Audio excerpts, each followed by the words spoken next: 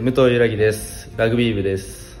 えっと、まあ、目標にしていた日本一という目標には届かなかったんですけど、その過程で仲間との練習や寮生活で、えー、素晴らしい、えー、経験をすることができて、とてもいい4年間だったと思います。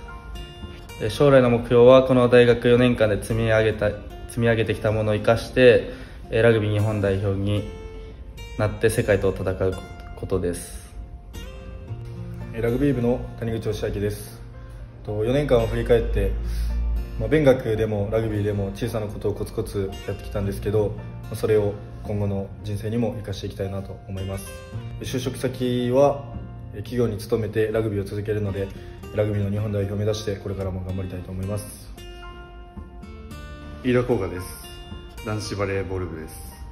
4年間振り返ってみて、まあ、入学した時にコロナですごい大変な時期があったりしたんですけど、まあ、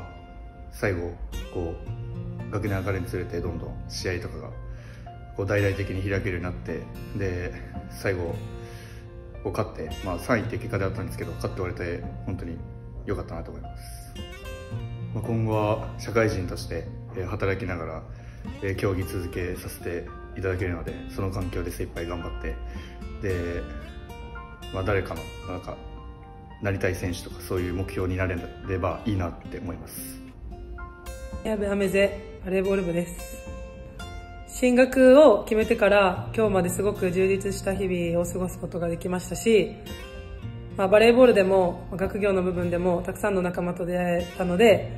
いい4年間になりました。将来の目標はこの東海大学に進学するきっかけにもなったバレーボールで